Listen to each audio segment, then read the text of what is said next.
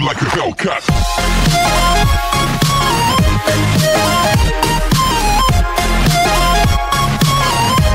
So part two में हमने देखा कि मीमो जो कि समझ चुकी है कि हैजुन वही पर्सन है जो कि ऑलवेज उसके ड्रीम में आता है इसलिए मीमो ने मौका देख डायरेक्ट हैजुन को प्रपोज कर दिया, जिसकी ये बात सुन हैजुन काफ़ी ज़्यादा हैरान हुआ, क्योंकि उसे यकीन ही नहीं आ रहा था कि उसके बेस्ट फ्रेंड यानी सोंगसू की वाइफ उसे प्रपोज कर रही है और वहीं हम देखते हैं सोंगसू मीमो की तबीयत का सुन जल्दी जल्दी से हॉस्पिटल की तरफ़ आ रहा है। ये बोलते हुए कि ये लड़की बचपन से लापरवाह है, जो कभी अपना ख्याल नहीं रखती।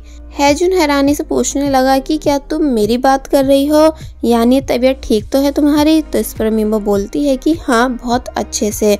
एंड मैंने अभी जो कुछ भी कहा, वो सब सच है। तो अब इससे पहले कि हैजुन और कुछ बोल पाता कि तभी डॉग में भी वहाँ आ गई, जो कि डायरेक्ट मीमो को मानने लग जाती है। उसकी तबीयत खराब होने की वजह से कि तुम कैसे इतनी लापरवाह हो सकती हो? सही से अपना ख्याल भी नहीं रख सकती। एंड डॉक्टर्स ने क्या बताया? यानी तुम जल्दी तो मरोगी नहीं ना? तो ये सुन हैजुन हंसने लगा कि तभी डोंगमी की नज़र हैजुन के कोट पर गई, इसलिए नाम रीड कर वो बोलती है कि, अब भला ये हैजुन का बच्चा कौन है? यानी कल ही तो तुमने किसी और से शादी की है और अब तुम किसी और का कोट पहन के घूम रही हो। इसलिए उतारो इसे, अभी उतारो। मीमो मना करती भी है कि, प्लीज़ ऐसा मत करना। मगर वो मानती नहीं। और फिर जब जैसी कोट ओपन हुआ एंड मीमो फिर से सभी के सामने रिवील हुई तो तब डॉग मी जल्दी से मीमो को फिर से कवर कर देती है एंड हैजुन से पूछती है कि तुम क्या देख रहे हो? यानी तुम्हें किसी को ऐसे देखने का हक नहीं। और फिर मीमो से बोलने लगी कि तुम्हें बताना चाहिए था कि तुम ऐसी हालत में हो। मगर सब छोड़ो, ये बताओ कि इस नाइटी के प्राइस क्या हैं? दिखने में तो काफ़ी एक्सपेंसिव लग रही है। क्या तुम्हें ये तुम्हारे हस्बैंड ने दी है? तो तब ये सभी बातें सुन है जिनको काफ़ी अजीब लगने लगा, इसलिए वो तुरंत वहाँ से चला जाता है, जिसके जाते ही मीमो बहुत ज़ोर से डोंगमी पर चिल्लाई क्योंकि डोंगमी की वजह से आज मीमो की फुल इंसल्ट हो चुकी थी। हैजुन वापस से अपने वर्क पे आ गया, जिसके पीछे पीछे मीमो भी आई और सही से बात करने के लिए, मगर हैजुन को बिज़ी देख वो वहाँ से चली जाती है। वेल अब नेक्स्ट सीन में फाइनली सोंगसू भी हॉस्पिटल पहुँचा, मगर मीमो तब तक वहाँ से जा चुकी थी, इसलिए हैजुन और ये दोनों बैठकर बात करते हैं। जहाँ हैजुन हैरान था कि आखिर मीमो, जो कि सोंगसू की वाइफ है, उसने सोंगसू को अपने पैनिक अटैक के बारे में क्यों नहीं बताया? तो तब सोंगसू क्लियर करता है कि ऐसा कुछ भी नहीं। यानी हम दोनों हस्बैंड वाइफ नहीं हैं, बल्कि उस दिन कोर्ट मैरिज हमने नशे की हालत में की थी। यहाँ तक कि हमने तो एक दूसरे को डेट तक नहीं किया। तो तब ये बातें जानकर हैजुन और ज़्यादा हैरान हुआ और वो सीन याद करने लगा जब मीमो ने उससे अपनी फीलिंग्स कन्फेस की थी। कि वो कैसे है, जिनको पहली नज़र में पसंद करने लगी है, इसलिए ये सब याद कर वो खुश होता है। सॉन्गसू बताता है कि मीमो एक बहुत ही अजीब लड़की है, जो ऑलवेज खुद तो प्रॉब्लम्स में रहती ही है, ऊपर से दूसरों को भी उन प्रॉब्लम्स में फंसा देती है। तो तब हैजुन कहता है कि अगर ऐसा है, यानी तुम्हें मीमो पसंद नहीं तो तब उसके लिए तुम हॉस्पिटल क्यों आए? वो भी आधी रात में। कहीं ऐसा तो नहीं कि अब तुम उसे पसंद करने लगे हो। तो तब सॉन्गसू साफ़ इनकार कर देता है कि नहीं, ऐसा कुछ भी नहीं है। यानी मैं उस अकड़ू और प्यक्का लड़की को कभी पसंद ही नहीं कर सकता। बट हैजुन सब समझ पा रहा था कि सोंगसू मीमो में थोड़ा बहुत इंटरेस्टेड है। वेल अब नेक्स्ट सीन में मीमो वापस घर आकर बहुत ही ज़्यादा परेशान थी कि हैजुन अब पक्का मुझे पागल समझ रहा होगा। मगर वही हैजुन मीमो को याद करते हुए वो दिन याद करता है जब उसने मीमो को कोर्ट में देखा था, जहाँ मीमो हैजुन को ठीक पहले जैसी एंजल मीमो दिखी थी। इसलिए प्रेजेंट में मुस्कुराते हुए मीमो का नाम पुकारते हुए बोलता है कि हान मीमो, तुम इतनी ज़्यादा इंटरेस्टिंग क्यों हो? और वहीं सोंगसू वापस अपनी बिल्डिंग आने के बाद मीमो से उसके हालचाल पूछने जाने ही वाला था, मगर तभी रुक जाता है। कि मैं मीमो का बॉयफ्रेंड या फिर रियल हस्बैंड थोड़ी हूँ जो उसकी इतनी फ़िक्र कर रहा हूँ कि तभी लिफ्ट को देख उसे वो दिन याद आने लगा जब ये दोनों ड्रंक हालत में वापस घर आए थे। एंड थोड़ी बहुत रोमांटिक बातों के बाद एक दूसरे को लव यू कहकर घर के अंदर चले गए थे।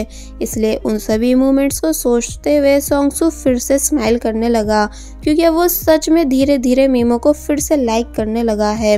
और वहीं मीमो वापस से सोने की बहुत कोशिश कर रही थी, मगर सो ही नहीं पा रही थी, क्योंकि अब उसे रिग्रेट हो रहा था कि मुझे इतनी जल्दी हैजुन से वो सब नहीं कहना चाहिए था।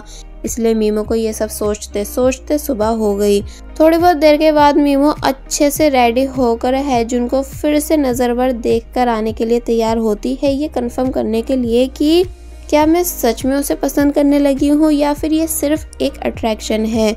इसलिए जब छुप छुप कर मीमो ने हैजुन को फिर से घूरना स्टार्ट किया तो तब उसकी सुंदरता देख मीमो की हार्ट बीट्स एक बार फिर तेज हो गई। इसलिए मीमो अच्छे से कंफर्म हो जाती है कि वो सच में हैजुन के साथ फॉल इन लव हो चुकी है। इसलिए जब वो डोंगमी और बैगदा को भी इस बारे में बताती है कि मुझे मेरा सच्चा प्यार मिल गया, जिससे अब मैं बहुत जल्द शादी करूँगी तो ये सुन वो दोनों हैरान हुई कि क्या फिर से? यानी तुम कितनी बार शादी करने का ट्राई करोगी? जब देखो तुम फॉल इन लव हो जाती हो तो तब मीमो बताती है कि कल जिस डॉक्टर ने मेरी जान बचाई, वही मेरा ड्रीम बॉय है जो कि बहुत टाइम से मेरे सपनों में आ रहा था। डोंग भी हैरानी से कहने लगी कि अच्छा अच्छा वही डॉक्टर जो हॉस्पिटल में तुम्हारे पास बैठा हुआ था, मगर डॉक्टर्स के साथ फॉल इन लव होना कोई नई बात नहीं। यानी डॉक्टर्स का काम होता ही है हमारी लाइफ बचाना, हमसे अच्छे से बात करना। इसलिए इसका मतलब ये नहीं कि तुम डॉक्टर के पीछे पड़ जाओ। जिसकी बातों का सपोर्ट बैकदबी करने लगी, क्योंकि इन दोनों को लग रहा था कि मीमो को सिर्फ़ अट्रैक्शन हुई है, ना कि लव। मगर जब मीमो मानती नहीं तो तब डोंगमी ने उसे अपनी स्टोरी बताई कि कभी काइंड जैसी शक्ल दिखने वालों पर ट्रस्ट नहीं करना चाहिए। यानी कुछ दिन पहले की बात है, हमारे स्कूल का डॉक्टर जो कि बहुत ज़्यादा हैंडसम एंड काइंड है, जिसे मैं ऑलवेज अपने मीट पीस दे दिया करती थी। क्योंकि वो मुझे देखकर स्माइल करता था, जिस वजह से मुझे लगने लगा कि ये मुझमें इंटरेस्टेड है। हमारे स्टाफ में एक और पर्सन था जो कि वो भी मुझे देखकर हंसता था, मगर वो मेरे टाइप का नहीं था। इसलिए उसे मैंने बस जैसे तैसे बर्दाश्त किया। मगर वही डॉक्टर के सॉफ्ट बिहेवियर की वजह से बाकी सबको भी लगने लगा कि वो मुझे पसंद करता है। मगर फिर तब आया जब मेरी एक जूनियर अनाउंस करती है कि वो बहुत जल्द डॉक्टर से शादी करने वाली है, क्योंकि वो दोनों बहुत टाइम से सीक्रेट रिलेशनशिप में थे। तो ये सुन उस टाइम मेरे होश ही उड़ गए, क्योंकि मैं अपने स्कूल की पुरानी टीचर हूँ विद गुड सैलरी इसलिए वो डॉक्टर सिर्फ़ मेरा यूज़ करता था अच्छा अच्छा खाना खाने के लिए। इसलिए अब मेरा उन सभी पर से भरोसा उठ चुका है जो दिखने में शरीफ होते हैं। यह जान कर काइंड बिहेव करते हैं। यानी ऐसे लोगों के खिलाफ सरकार को लो बनाना चाहिए ताकि ऐसे लोगों को सजा देकर जेल में बंद किया जा सके। मगर मीमत तब भी मानती नहीं, क्योंकि अब अगर उसके माइंड में कोई था तो वो सिर्फ़ हैजुन था। पहले अब नेक्स्ट सीन में मीमो हमें थोड़ा बहुत अपने वर्क के बारे में बताती है कि वो और उसकी पूरी टीम कैसे कैसे क्लाइंट्स के लिए बेस्ट पार्टनर ढूंढती है। ठीक शादी डॉट कॉम साइट की तरह लोगों के लाइक और डिसलाइक मैच करके। जिसे करते करते मीमो रोज़ काफ़ी ज़्यादा थक भी जाती थी। अब रात हुई जहाँ हम देखते हैं कि बैगदा जो कि अपने बेटे को सुला रही थी एंड देन अपने बेटे के सो जाने के बाद वो बाहर आई, जहाँ उसका हस्बैंड उसका वेट कर रहा था बात करने के लिए।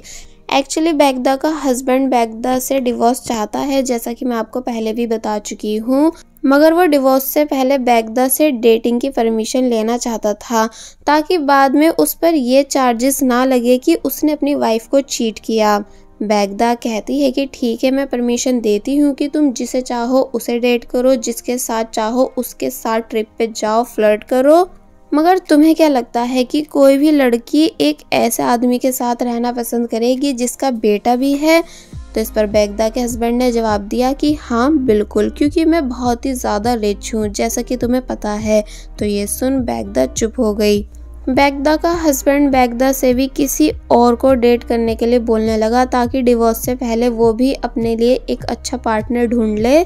तो ये सुन बैगदा पूछती है, मगर क्यों? तो इस पर उसके हस्बैंड ने जवाब दिया, इसलिए क्योंकि मुझे आज भी तुम्हारी फ़िक्र है। तो ये सुन वो शांत हो जाती है। इसका मतलब कि ये दोनों अब भी कहीं ना कहीं एक दूसरे को पसंद करते हैं, मगर तब भी एक दूसरे से डिवोर्स क्यों ले रहे हैं, ये हमें बाद में पता चलेगा। और वही मीमो है जिनके कोट पर आयरन करने के बाद ये सोच सोच कर परेशान थी कि अब भला मैं कैसे हैजुन को बताऊँगी कि मेरे और सोंगसू के बीच कुछ भी नहीं। इसलिए फिर मीमो ने इस बारे में बात करने के लिए सोंगसू को मिलने बुलाया। जहाँ वो सोंगसू को ये तो बताती नहीं कि मैं तुम्हारे दोस्त हैजुन को पसंद करने लगी हूँ, बल्कि सिर्फ़ ये पूछती है कि क्या हैजुन को हमारे रिलेशनशिप के बारे में पता है? तो इस पर जब जैसी सोंगसू ने बताया कि हाँ यानी कि मैं उसे बता चुका हूँ कि उस दिन हम दोनों ने ड्रंक हालत में शादी की थी, जबकि हमारे बीच ऐसा वैसा कुछ भी नहीं। तो ये सुन मीमा बहुत ही ज़्यादा खुश हुई क्योंकि अब उसका आधा काम, यानी मिसअंडरस्टैंडिंग दूर करने का वो पूरा हो चुका है। मगर वहीं अगर बात की जाए ऐरान की, जो कि जब जैसी अपनी मोम को भी बता देती है कि वो बैंक से शादी नहीं करने वाली है तो ये सुन उसकी मोम के होश उड़ गए कि तुम ऐसा कर कैसे सकती हो? यानी क्या तुम्हें पता भी है कि हम सभी गेस्ट को इनवाइट कर चुके हैं? मगर ऐरान कहती है कि पर मेरा सच में शादी करने का मन नहीं। मगर ऐरान की मोम ऐरान की एक नहीं सुनती, बल्कि ये कहकर चली जाती हैं कि मुझे नहीं पता ये शादी होकर ही रहेगी।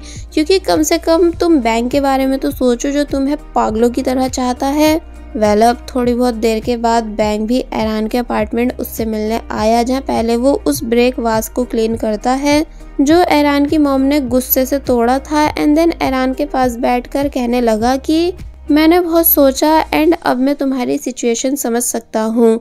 यानी तुम नर्वस हो, इतनी ज़्यादा कि तुम्हें शादी वर्ड से डर लग रहा है।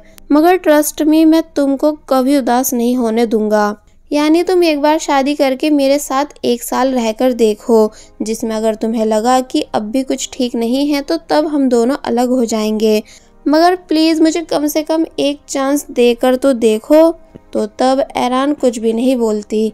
वैसे आप सभी को क्या लगता है कि ऐरान को बैंक के साथ शादी कर लेनी चाहिए कि नहीं? हमें कमेंट सेक्शन में ज़रूर बताइएगा। वेल अब नेक्स्ट डे दिखाया गया डोंगमी मीमो के साथ किसी हिप हॉप रॉकी बाबा के पास आए जो कि गर्ल्स का फ्यूचर बताते हैं कि उन्हें कब और कैसे हस्बैंड मिलेगा। जो कि हरकतों से तो काफ़ी अजीब लग रहे थे, मगर डोंगमी को उसकी रिसेंट सिचुएशंस के बारे में बिल्कुल ठीक बताते हैं। तो ये सुन डोंगमी को यकीन हो गया कि ये कोई फेक बाबा नहीं।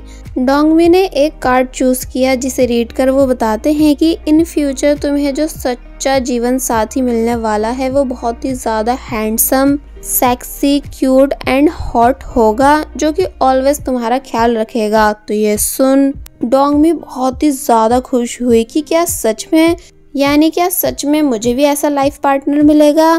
तो इस पर बाबा बोलते हैं कि हाँ और अगर तुम चाहती हो कि ये सब जल्दी हो तो तुम्हें मुझे बहुत सारे पैसे देने होंगे। डोंग मी मीमो के मना करने पर भी पैसे देने ही वाली थी, मगर तभी एक दूसरी लेडी चिल्लाती हुई वहाँ आई, जो कि क्लेम कर रही थी कि ये बाबा फेक है। तो ये सुन डोंगमी ने तुरंत पैसे वापस रख लिए, क्योंकि जब देखो बेचारी डोंगमी को हर कोई पागल समझ के लूटता ही रहता है। वेल, अब नेक्स्ट सीन में मीमो फाइनली हॉस्पिटल के बाहर आई है से मिलने, जहाँ अंदर जाने से पहले उसे बहुत ज़्यादा डर लग रहा था, मगर वो जैसे तैसे हिम्मत करके अंदर जाती है। हैजुन ने मीमो को भाभी कहकर पुकारा तो ये सुन मीमो पूछती है कि तुम मुझे ऐसा क्यों बोल रहे हो? यानी क्या तुम्हें सोंगसू ने सच नहीं बताया? तो ये सुन हैजुन एक्टिंग करने लगा कि, अरे हाँ बताया तो था सॉरी मैं भूल गया था। मीमो पूछती है कि, क्या तुम ऐसा जानबूझ के कर रहे हो ताकि मैं तुम्हें पूरी स्टोरी बताऊँ कि सोंगसू और मेरे बीच कुछ भी नहीं, जबकि तुम्हें उस बात पर फोकस रखना चाहिए जो मैंने उस रात तुमसे कन्फेस की थी? तो इस पर हैजुन जवाब देता है कि पेशेंट्स के लिए बहुत इजी होता है डॉक्टर्स को लाइक करना, क्योंकि हम ऑलवेज काइंड बिहेव करते हैं। मगर इसका मतलब ये नहीं कि इसे आप प्यार समझ के अपने आप को धोखे में रखो।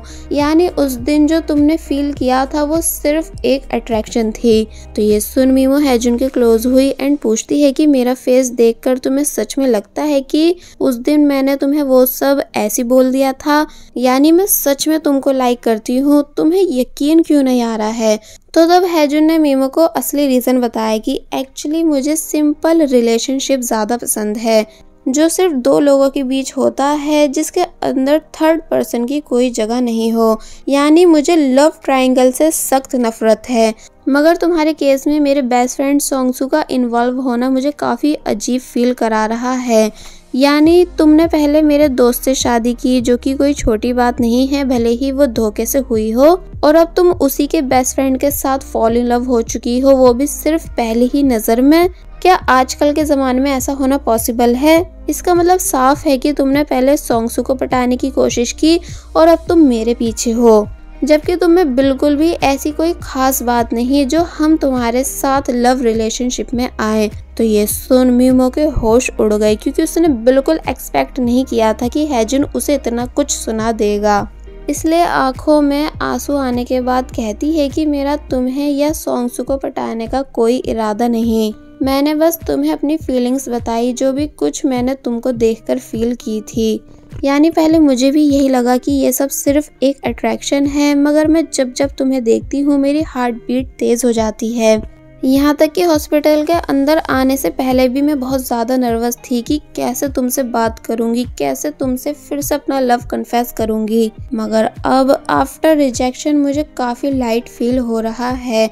पता नहीं क्यों मैं जिसे भी पसंद करती हूँ, वो मुझे रिजेक्ट कर देता है। सही कहा तुमने कि मुझमें कोई खास बात नहीं, पर मैं ऐसी ही हूँ। एंड देन हैजुन को उसका कोट पकड़ा कर चुपचाप वहाँ से चली गई, जिसे जाते हुए हैजुन भी काफ़ी उदासी से देख ही रहा था कि तभी यून भी वहाँ आ जाती है, जो कि पूछती है कि, आखिर तुम दोनों के बीच ऐसी क्या बात हुई जो ये लड़की इतनी बुरी तरह रोते हुए जा रही है? तो ये सुन हैजुन और ज़्यादा बुरा फील करने लगा।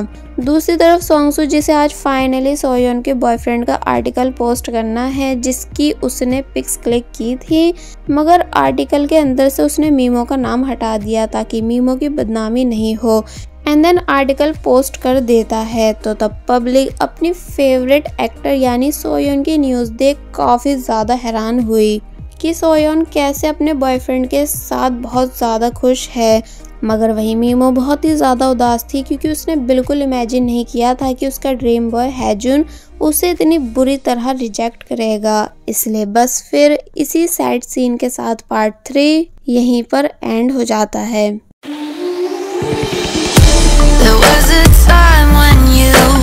Had me falling to the ground.